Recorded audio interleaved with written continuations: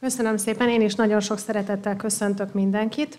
Jó sok dologgal készültem, úgyhogy majd a, akkor Imrétől fogok kérni ilyen segítséget, hogy néha így kolompolsz, hogy hol tartunk időben.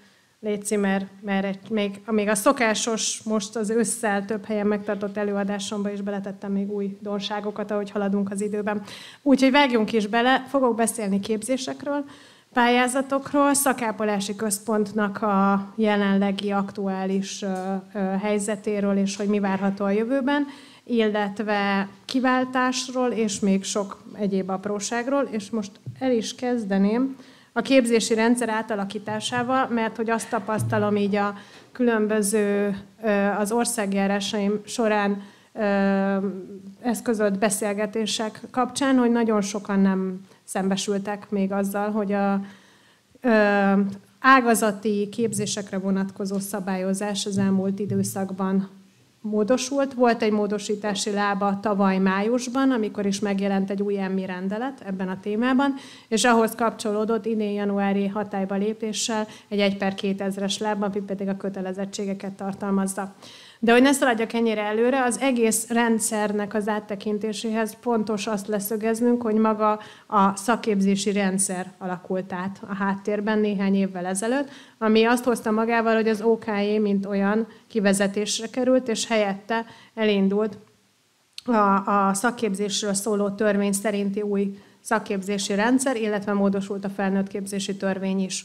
Ez a mi ágazatunk tekintetében, és ezt azért nagyon fontos hangsúlyozni, mert ez jelentős hatással lesz a, a kollégáinkra, illetve a következő időszakban a kollégáknak a beiskolázására. Ez egy jelentős szűkítést eredményezett ez az átalakítás.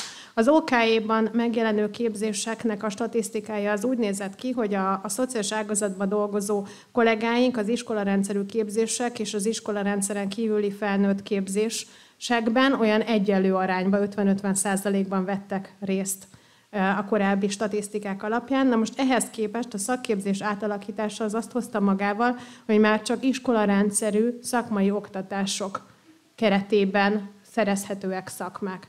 Ez azt jelenti, hogy azok a kollégák, akik elsősorban azért felnőtt korban iskolázódnak be, és sok esetben nem tudják vállalni az iskolarendszerű képzés kereteit, az ő esetükben jelentősen szűkültek a lehetőségek. Jelen pillanatban ez a hatféle szakmai oktatás, ami a felső buborékban látható, ez érhető el a szociális, a gyermekjóléti és a gyermekvédelmi területre.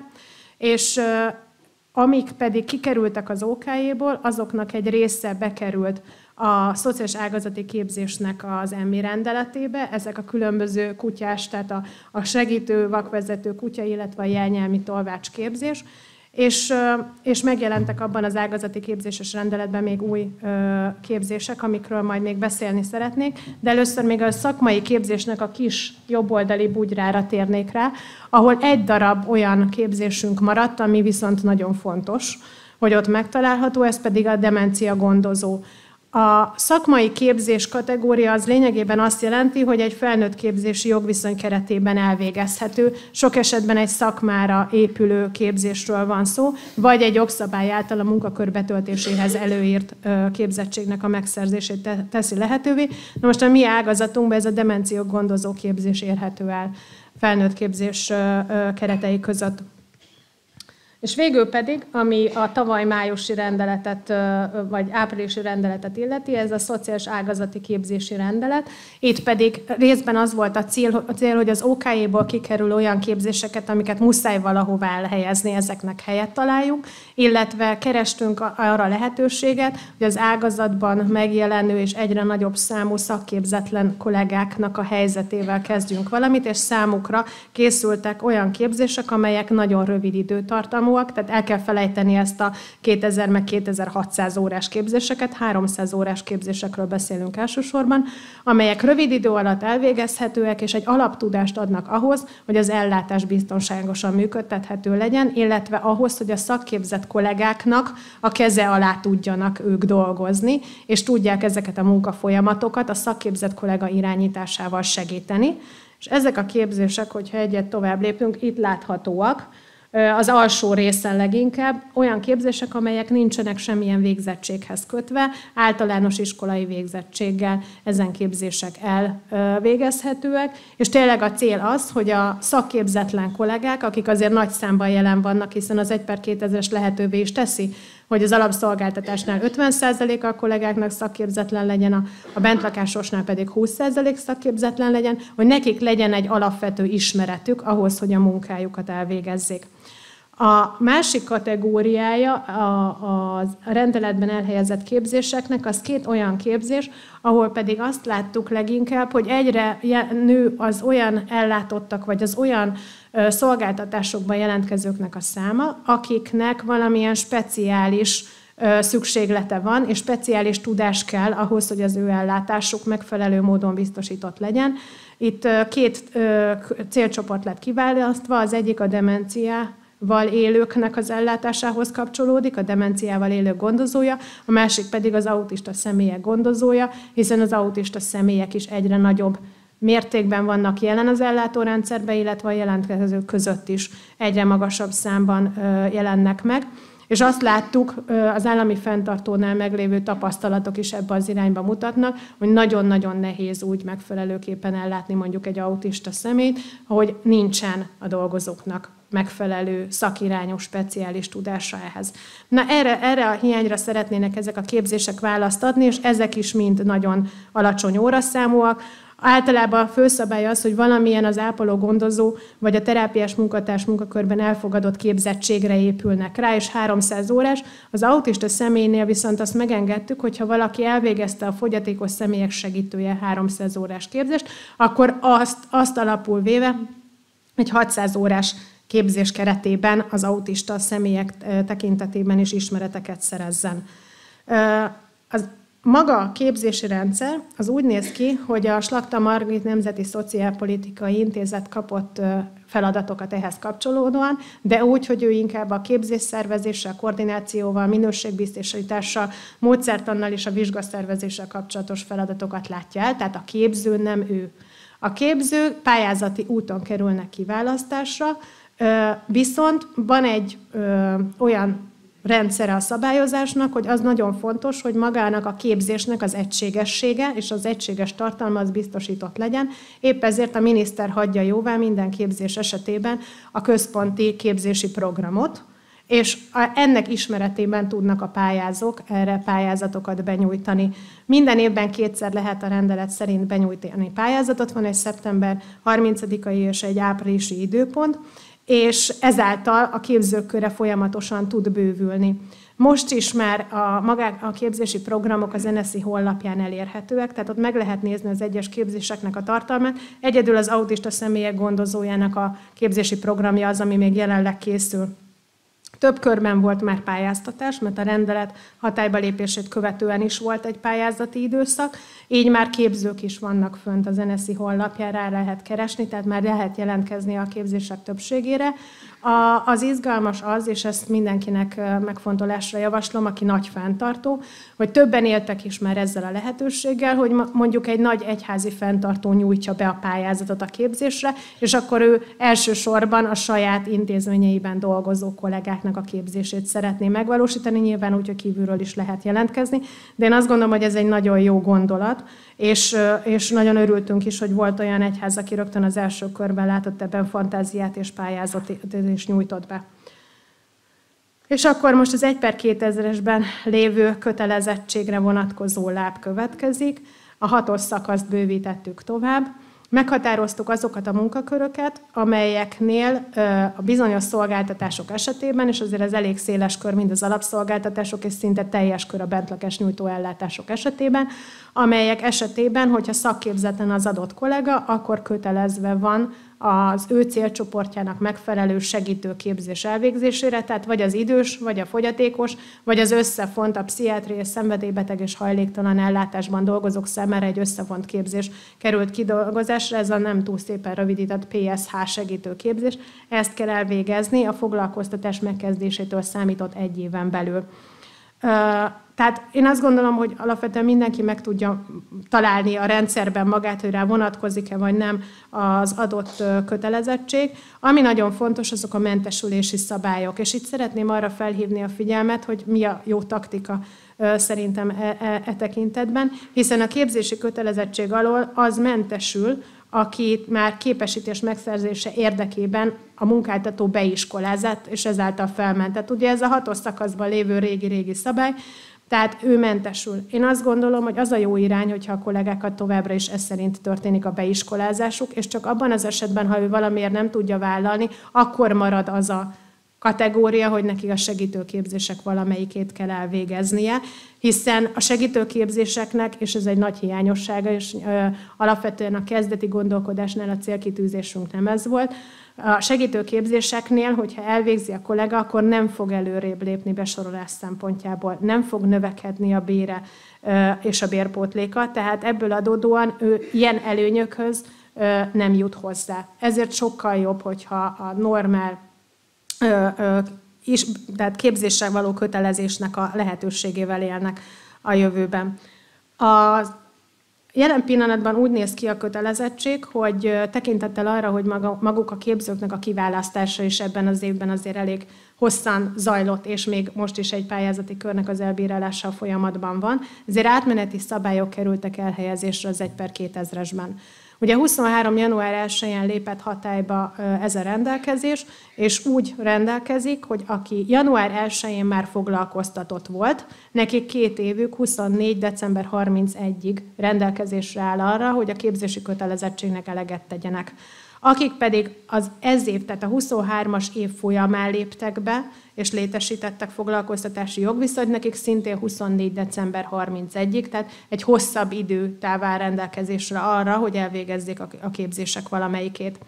A, már mondtam az egyik felmentést, ugye, a, hogyha be van iskolázva és szakirányú oktatásban vesz részt a kollega, a másik pedig a házi segítségnyújtásban foglalkoztatott segítőre ö, vonatkozik, aki a 100 órás belső képzésre vonatkozó ö, képzést, ha elvégezte, és ennek a kötelezettségnek eleget tett, akkor mentesül ezen kötelezettség alól. Ami viszont fontos a házi segítségnyújtásnál maradva, az az, hogy a 100 órás belső képzés az kivezetésre kerül a rendszerből, tehát a jövőre nézve ez a kötelezettség ez megszűnik, és mindenkinek az idősek segítője képzést kell elvégeznie, pont azért, mert az egy a központi oktatási program alapján, vagy képzési program alapján az egy egységes képzés, egységes tartalommal és egységes színvonallal, ezért a, a belső képzés rendszere az megszűnik. És van még egy utolsó láb, az pedig az 1 per 2000-esnek az a rendelkezése, ahol a különböző célcsoportok, tehát a pszichiátriai beteg, a szenvedélybeteg és a demens személyek ellátását végző bentlakásos intézményekre vonatkozó kötelezettséget tartalmazza. Ez sem egy új keletű kötelezettség, ugye? Ráadásul aki gyakran böngészi az 1 per 2000-est, az tudja, hogy erre a kötelezettségre a határidő már meg is lett egyszer hosszabbítva. Most 2025. január 1, ez kibővült az autista személyeket gondozó bentlakásos intézmények körével is. Ugye ez az a kötelezettség, ami kimondja azt, hogy ha gondozó, ha terápiás munkatárs vagy ápoló munkakörben van valaki foglalkoztatva ezen célcsoportokat ellátó intézményekben, akkor műszakonként egy-egy olyan kollégának kell beosztva lennie, akinek van speciális tudása az adott célcsoport ellátásához. Ez is szintén az ellátás biztonsága érdekében rögzített és bevezetett szabály.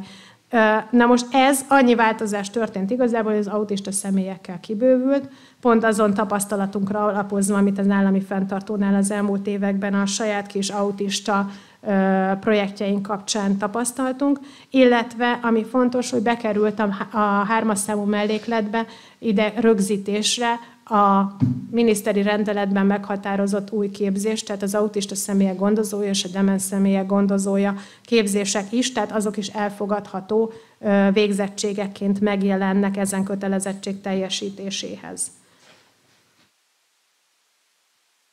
És akkor a már ígért és helyettes államtitkár úr által viszonylag részletesen elmondott szakápolás átalakításáról szeretnék néhány gondolatot megosztani, illetve hogy mi, mi várható a jövőben.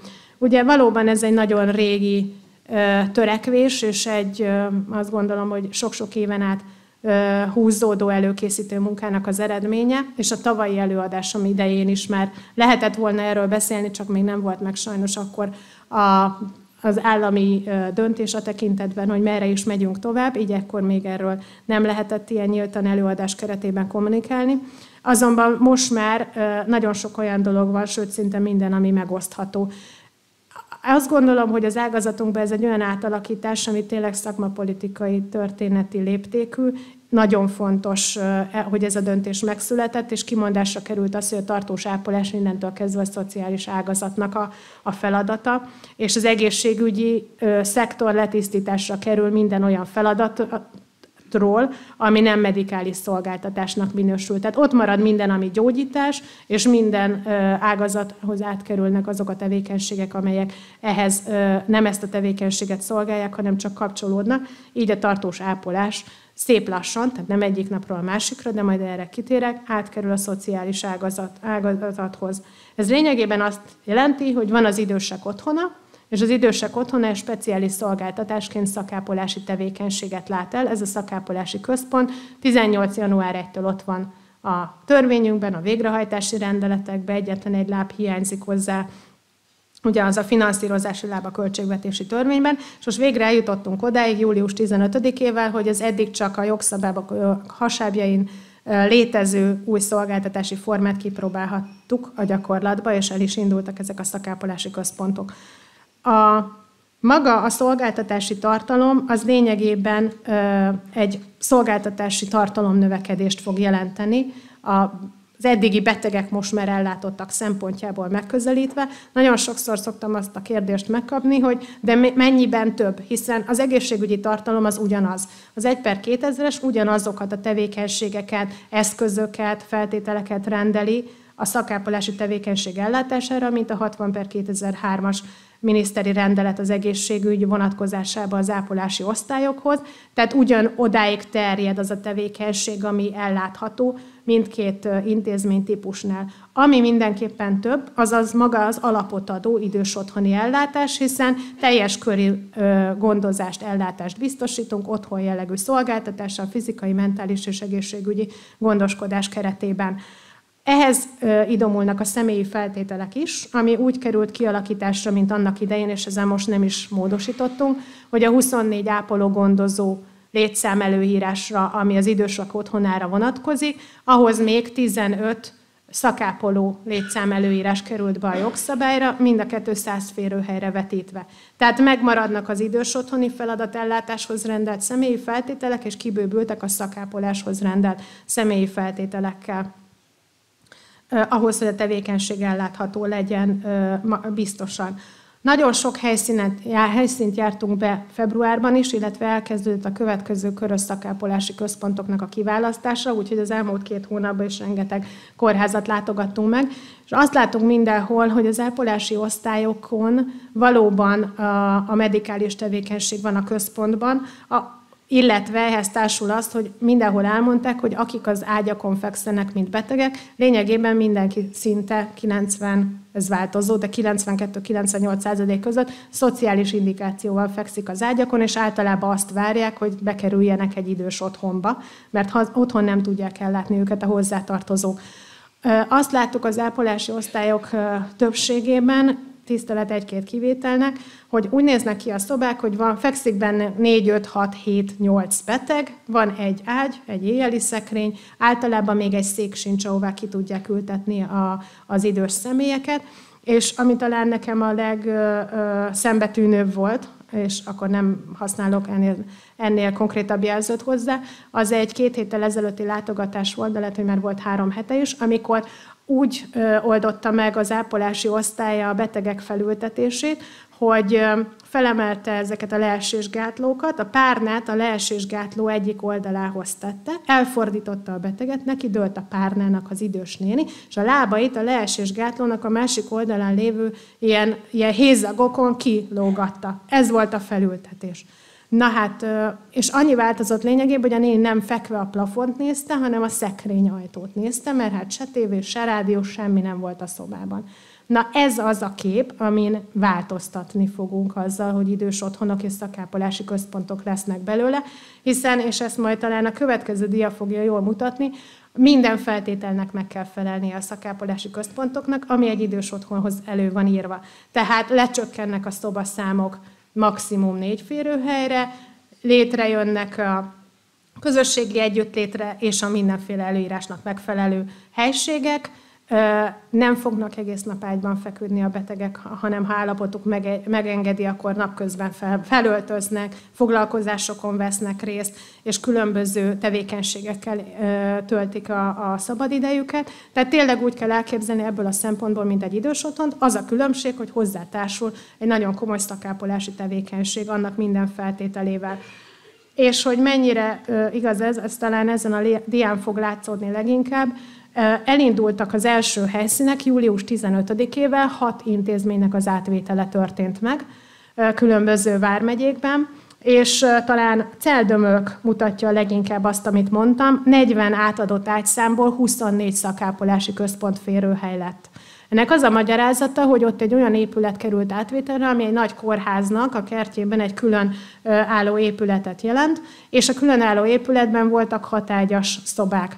Ahhoz, hogy megkapjuk az engedélyt, ugye négy ágyasra csökkentek a szobák, 6 négyzetméter mindenhol így megvan, illetve voltak olyan szobák, amit meg kellett szüntetni, és ott jött létre a közösségi együttlétre szolgáló helység, illetve az ebédlő. Tehát ez a csökkenésnek az oka, így feleltünk meg a feltételeknek, és ezáltal lett ez egy valós idős otthoni ellátás. A többi helyszínen azért nem volt erre szükség, mert ö, volt olyan helyszín, ahol volt is közösségi együttlétre szolgáló helység, vagy ahol ki lehetett alakítani, illetve volt olyan helyszín is, nem is egy, ahol kaptunk még az eddigi szakápolási feladatokhoz kapcsolódóan plusz területet, és ott le, lecsökkentve az eddigi betegszobákba az ágyszámot, azt a területet bevonva az ellátásba, jobban el lehetett osztani nagyobb területen a, az ott fekvő betegeket most már ellátottakat. A budapesti helyszín például egy olyan helyszín, ahol egy teljesen önálló épület indult el szakápolási központnál, ahol eddig ellátásban nem bevont emeletet is tudunk ellátásba bevonni, szép fokozatosan. Itt nem aktív ágyaknak az átvétele történt meg, és ezeknek az ágyaknak a a folyamatos beüzemelés, ahogy kerülnek felvételre a dolgozók, az, az történik. Indultunk szerintem egy 30-valahány férőhelyjel, most tartunk egy 65 körüli férőhelynél, és el fogunk jutni 100-ra, ahogy lépnek be a dolgozók. És ha már a dolgozóknál tartunk, szokott lenni talán az egyik legfontosabb kérdés, hogy hát honnan lesz dolgozónk. Miközben elég komoly humán erőforrásra vonatkozó előírásokat ad az 1 per 2000-es Szerencsére úgy sikerült végigvinnünk a törvénytervezetet, hogy maga a törvényi rendelkezés a szociális törvényben tartalmazza azokat a garanciákat, ami az átvételre kerülő dolgozók szempontjából iszonyatosan fontos. Rögzíti a törvény, hogy az elmúlt hat hónap, az átvételt megelőző hat hónap átlag jövedelme az, amit számára biztosítani kell a továbbiakban, illetve egy nagyon fontos rendelkezést még tartalmaz arra vonatkozóan, hogy az egészségügyben folyamatosan emelkednek, és ugye tudjuk, hogy eddig is emelkedtek ütemezetten, és, ed, és ezután is fognak a bérek, az az előmeneteli rendszer az, a, ezekre a dolgozókra is vonatkozik. Tehát azon kollégák, akik átkerülnek hozzánk, ebből a szempontból be vannak biztosítva. Az üres dolgozói álláshelyekre pedig az egészségügyi kiegészítő pótlék biztosítja azt a lehetőséget, hogy az egészségügyi és a szociális ágazat közötti eltérés ne legyen meg. Ugye itt mindig egy picit csúszásban vagyunk, és ezt meg is szoktuk kapni sokszor írásban ezt a kérdést, hogy de hát változott az egészségügyi bér, még a pótlék miért nem változott hozzá, mert hogy nekünk minden esetben meg kell várnunk, hogy kihirdetésre kerüljön az egészségügyi béremelés, és ha látjuk a számokat, akkor tudjuk a pótlék táblának az egyes kategóriáiban a számokat úgy meghatározni, hogy azt elindítsuk, mint előterjesztés, ami viszont egy időt vesz igénybe. Ezért van, hogy mondjuk csak két hónappal később tudjuk ezt a rendeletet végigvinni és jelenik meg a közlönybe, és természetesen visszamenőleges hatállyal adja meg a, a, a, a jövedelmet a dolgozóknak pótlék formájába, de volt olyan, hogy hosszabb idő volt ennek a végigvitele, de akkor is mindig az adott egészségügyi bér döntésre vonatkozó időpontra visszamenőleg biztosítottuk mi is. Tehát dolgozunk, így lesz, és egyelőre nagyon pozitívak egyébként a, a tapasztalataink, nagyon szívesen jöttek át a kollégák a, a rendszerbe, illetve új kollégák is jönnek át. Úgyhogy ezen a részen nincsen, egyelőre nem látszik probléma. A térítési díj szokott lenni a másik dolog, amit én mindig kiemelek az előadásaimban, mert hogy az a tévhit van, hogy az egészségügy ingyenes, míg a szociális fizetős, akkor rosszabbul járnak az idős emberek. Az ápolási ágyakra úgymond a főszabálytól eltérő szabályozás vonatkozik az egészségügyben is. A jogszabály is azt rögzíti, hogy 800 forint per nap térítési díjat lehet elkérni, illetve kényelmi szolgáltatás címén még lehet térítési díjat vagy szolgáltatási díjat beszedni. A tavaszi látogatási körülnél azt láttuk, hogy a 25 vagy 27 helyszín közül egy vagy kettő volt olyan, ahol ezt a 800 forintot tartották, és csak ennyi térítési díjat szedtek. Az összes többi helyen 2500 és ilyen 5000 forint között volt az átlag napi térítési díj, de volt olyan helyszín, ahol 7500-ra ment fel a napi térítési díj összege. És ami még itt nagyon fontos, hogy amíg ezt a kényelmi szolgáltatási szerződést nem írják alá vagy a beteg, vagy a hozzátartozója, addig nem tud az ápolási osztályra bekerülni a beteg. Tehát ha innen nézzük, azt gondolom, hogy a szakápolási központnak kedvezőbbek a szabályai, hiszen az idős otthonra vonatkozó térítési díjszabályok szerint működnek ezek az intézmények, ami azt jelenti, hogy akár a jövedelem nélküli idősek is be tudnak kerülni. Azt, hogy tud-e fizetni, vagy a hozzátartozó fizete, ez nem szempont ebből a szempontból.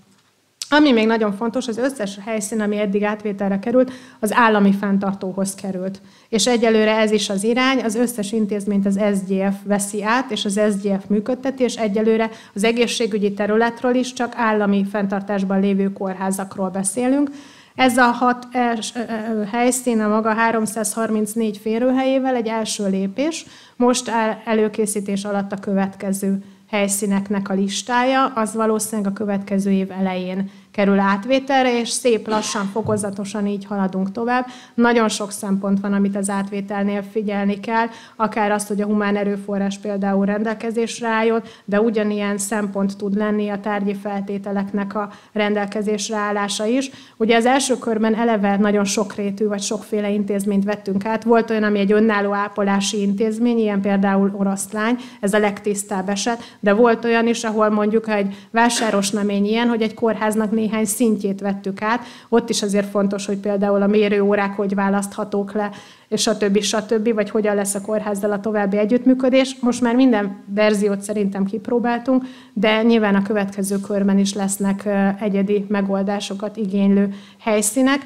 És egyszer majd eljutunk odáig, mert hogy a végcél az, hogy az összes ápolási ágy átkerüljön, ami területünkhöz. Vannak olyan helyszínek, ahol előtte az egészségügyi ágazatnak is átminősítenie kell mondjuk krónikusból ápolásivel vagy rehab. Tehát egy csomó helyszínen azért kerül későbbre az ütemezést, mert maga az egészségügy is újra struktúrálja a saját ágykapacitásait és az ellátórendszerét.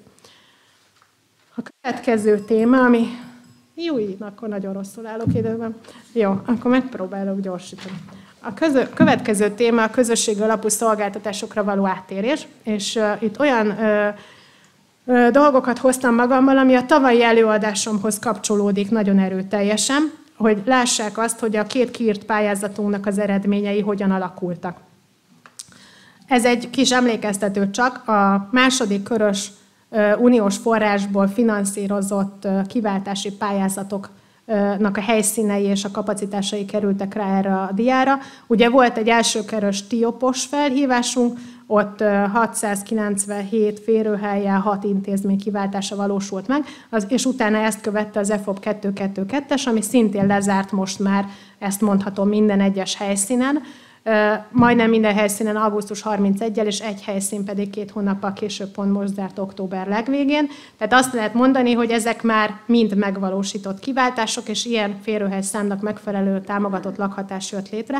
Nagyjából ott tartunk, és talán ez a dia mutatja leginkább, hogy van 4416 támogatott lakhatás férőhelyünk jelen pillanatban, és abból egy ilyen 3000 nagyságrendileg az, ami kiváltás keretében jött létre, és 1400 nagyságrendileg az a szám, ami viszont egy önállóan létrejött támogatott lakhatást jelent. Jelen pillanatban van még 15 ezer férőhely, ami előttünk áll.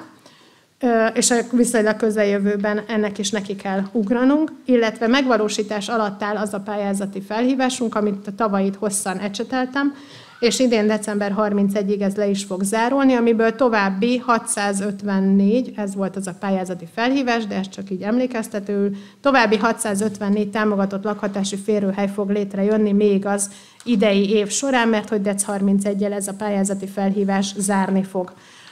Az adatokat megnézve jól látszik, hogy azért a fogyatékos személyek számára elérhető TL-ek létrehozása volt a, a népszerűbb. Pszichiátriai betegek számára sajnos jóval kevesebb kapacitás fog létrejönni, viszont nagyon sok alapszolgáltatásra is pályáztak a fenntartók, ami szerintem tök jó, és így a szolgáltatási gyűrű létre is fog jönni. Összesen 16 milliárd forint került lehívásra, 34 kedvezményezett által, és ha megnézzük a pályázati projekteket, akkor nagyjából így néznek ki, tehát inkább Kelet-Magyarország a hangsúlyos.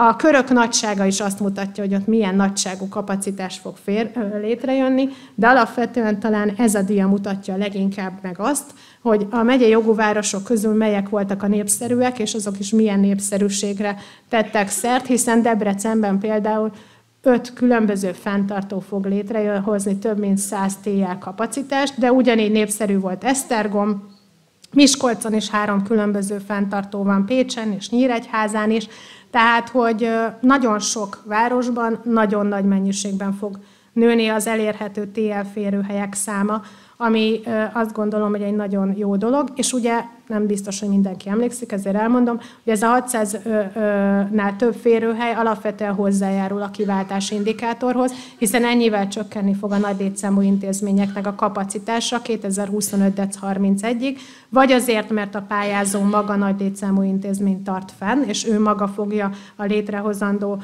férőhelyszámmal csökkenteni a saját intézményi kapacitását, vagy azért, mert nem tart fenn, és akkor az állami fenntartó fogja viszont csökkenteni az országosan elérhető elérhető kapacitásait az adott célcsoport vonatkozásában. Erre lesz két év, tehát most dec 31-ig zárnak a pályázatok, megkapják az engedélyeket, jövő év elején beköltöznek a lakók, és két év áll arra rendelkezésre, hogy ez a csökkentés megvalósuljon az állami fenntartónál. Szintén egy visszajelzést hoztam. Ugye tavaly nem csak ez a TLS pályázatunk volt az, ami, aminek a kiírását nagy eredményként értük meg, hanem megjelent egy 1.9.10-es úgynevezett modellprogram is, amelyben a közösségi alapú szolgáltatásokra való áttérést a személyes támogatási rendszer kialakításával szerettük volna modellezni. Ez is egy nagyon rövid megvalósítási idővel rendelkező pályázat volt, picike pályázati forrásból, és végül négy pályázó volt, aki sikeresen vette az akadályokat. A Szimbiózis Alapítvány, Szombathelyről a fogyatékkal élőket és hajléktalanokat ellátó közhasznú profit Kft., a Mezőcsáti Kistérségi Társulás és a Négy Szociális és Gyermekjóléti Társulás. És őszintén szólva, most szeptemberben minden négy helyszínt lejártuk a kollégáimmal, és ott beszélgettünk nem csak a megvalósítókkal, hanem a szolgáltatást igénybe fogyatékosokkal, és az ő segítőikkel is, és nagyon izgalmas volt. Tehát ez egy nagyon izgalmas olyan modellezés, aminek mindenképpen szeretnénk, hogyha lenne az EFO Plus-ban is folytatása, mert hogy, mert hogy alapvetően mind a négy pályázó teljesen másképpen ragadta meg az egyébként nagyon rugalmas pályázati kiírást, és van, amelyik közelebb áll a külföldi gyakorlatokhoz a megvalósítás szempontjából, valaki pedig egészen egyedi megoldásokat talált és alkalmaz. Alapvetően 53 fogyatékos személyt volt be a négy megvalósító, hozzájuk 134 segítő kapcsolódik, és a segítőknek az 54%-a laikus. Tavaly ugye azt mondtam, hogy az egyik legnagyobb kritikát ott kaptuk, és talán vagy nem is jó a kritika az értetlenséget, hogy hogy, hogy laikusokat tudnak segítőnek a fogyatékos személyek kiválasztani, és hogy itt azért elég sok kérdést kaptunk ennek kapcsán, hogy ezt mégis hogy gondoljuk.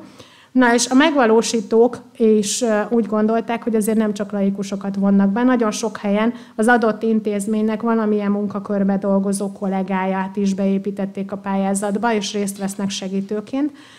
Ami szintén nagyon izgalmas, hogy nagyon sok helyen családtag nem zártuk ki ezt a lehetőséget, családtag részt vesz segítőként, ráadásul olyan családtag, aki egyébként ápolási díjon van, ahol visszakérdezve azt a választ kaptuk, hogy sok esetben ez a pályázat abban segítség, hogy az ápoló családtag egy picit tehermentesítődjön, Azonban azt láttuk, hogy ennél talán nagyobb érv az, hogy az, a a fogyatékos szemét gondozó családnak az anyagi helyzete, az alacsony jövedelme az, ami leginkább szempont volt a család szempontjából, és amíg az ápolási díjat is kapják, illetve a családta közben ebből a pályázatból, mint segítő részt vesz, ezáltal plusz jövedelemhez jutnak, és ez nagy segítség számukra.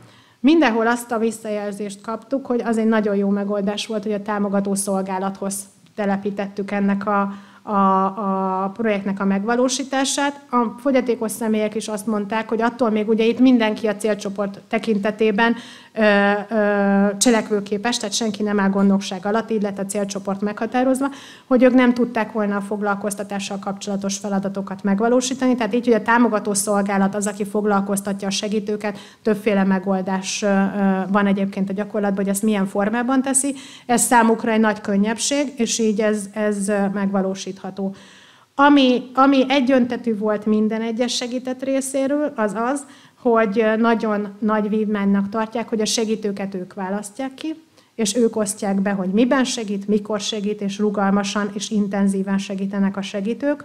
Nagyon nagy kritikaként fogalmazták meg a segítettek azt, hogy mind a házi segítségnyújtás, mind a támogató szolgálat csak egy-egy egy-két órában elérhető szolgáltatás, és hogy ez messze nem éri el azt az igényszintet, ami náluk jelentkezne, illetve többen kiemelték azt is, hogy mivel csak 8-tól 4-ig működnek ezek a szolgáltatások, ezért olyan, hogy mondjuk kulturális programon való részvétel, vagy hétvégi kikapcsolódás, vagy bármilyen elfoglaltságban való segítés, az nem tud megvalósulni a gyakorlatban. Ezért nagyon fontos ez a szolgáltatás, hiszen itt a hétvégi, meg az esti időszak is tud működni, de nyilván erre, ezekre a válaszokra számítottunk. Az egyik megvalósító, és itt még egy nagyon, csak tényleg egy nagyon picit erről engedjenek meg még, kiemelte azt, hogy ő teljesen más szempontból gondolt át a projektet, mert a legelején bevonta a fogyatékosságügyi tanácsadót, aki a célcsoportba bevont személyekkel az elején készített egy életminőségvizsgálatot, és a legvégén, majd november végén készül egy következő ilyen vizsgálat, annak érdekében, hogy jól mérhető legyen, hogy a szolgáltatás mihe, hogyan járult hozzá a, a bevont célcsoportnak az életminőségének a változásába. Ők az egészségügyi területtel az elejétől kezdve együttműködnek, felismerte egészségügyi kollega a bevont célcsoport tagjait, sok köztük a stroke beteg, illetve az olyan balesetes ellátott, aki négy végtag sérült, és, és külön olyan célcsoportot választottak, akik sok esetben évek óta nem mozdultak ki a házukból, illetve az ágyukból, és épp ezért arra hangsúlyt tettek, hogy a mentális gondozás és a szemléletformálás az nagyon erős legyen, és abban járuljon hozzá a szolgáltatás a célcsoport életéhez, hogy egy új életcélt tudjanak kitűzni, és azt elérni ebben a néhány hónapban. Úgyhogy e, ez szerintem nagyon izgalmas irányba vitte el a projektet, illetve talán még azt, hogy a családtagok esetében a szemléletformálásra is külön figyelmet fordítottak, hogy az a túlgondozás, amivel ők sok esetben szembesültek az ápoló családtag részéről, az megszűnjön, és sokan önállóban tudjanak ezek a fiatalok a jövőben élni és dönteni. Úgyhogy ez, ez nagyon izgalmas. Nyilván még nincs vége a pályázat megvalósításának, de minden esetre már most látszik egy csomó olyan visszajelzés, amit mi a következő felhívásnak a kiírásakor ö, tudunk figyelembe venni, és módosítunk is a kiíráson, de minden esetre az biztos, hogy megerősített minket abban, hogy ebbe az irányba tovább kell gondolkozni, és további modellezést ezt szélesebb körben a jövőben szeretnénk folytatni majd az EFO Plus keretében. És akkor tényleg a vége felé, már csak egy nagyon kicsi kitérő, emberkereskedelem elleni küzdelem, tavaly erről részletesen beszéltem, itt most csak egy picike a változásokról szeretnék visszajelzést adni. Megint ki volt írva a csáós pályázatunk külső férőhely létrehozására, ami most már hagyománynak mondható. 250 millió forintos keretből, ugye ez az emberkerés stratégiának, az intézkedési tervének a keretéből valósul, vagy tud megvalósulni. Még nincsen döntés, de az jól látszott, hogy háromszoros nagyjából az igény, ami pály- lepályázásra került, úgyhogy én ezt köszönöm szépen, nagyon nagy volt az érdeklődés. A bírálati szempontoknál igyekeztünk azt figyelembe venni, hogy olyanok nyerjenek, akik korábban még nem, hogy olyan helyszínen jöjjön létre, ahol korábban még nem, hogy aki pályázott, az ha több lakással, akkor legalább egy helyszínre kapjon támogatást, úgyhogy nem sokára meg fog jelenni a döntés, úgyhogy ez szerintem nagyon sikeres ebből a szempontból, jövőre is tervezzük illetve, és ez nem emberkereskedelem, de a támogató szolgálatok gépjármű beszerzésére is ki volt írva a már szokásos hazai pályázatunk, annyi kis csavarral, hogy most sikerült azt is beépíteni, hogy nappali ellátást nyújtók és támogatott lakhatás nyújtók is tudtak pályázni úgy, hogy még nincsen támogató szolgálatuk, tehát alapszolgáltatás fejlesztés volt a, a cél ezzel a pályázattal. Természetesen vállalni kellett a támogató szolgálat kialakításának a kötelezettségét. Egyébként itt is rengeteg pályázat érkezett be, itt is az több mint háromszoros volt a lepályázott összeg. Viszont ami számomra meglepő volt, az, hogy viszonylag kevesen nyújtottak be olyanok, akik nem meglévő támogató szolgálat gépjárműjének a cseréjére pályáztak. Volt azért pályázó, de én nagyobb számra számítottam, ami vagy azt jelenti, hogy kevesen nézik, akik nem érintettek a támogató szolgálatba, és erre szeretném felhívni a figyelmet, hogy jövőre azért ezt érdemes nyomon követni vagy egyéb okok miatt, de, de, de azért jött be néhány pályázat, de én egy picit többre számítottam, hogyha már van hazai forrás, és bővíthetjük a szolgáltatásokat, akkor erre érdemes a jövőben nagyobb figyelmet fordítani. Igen, és akkor a, nem, itt az utolsó, még azt, még egy pici, pici türelmet.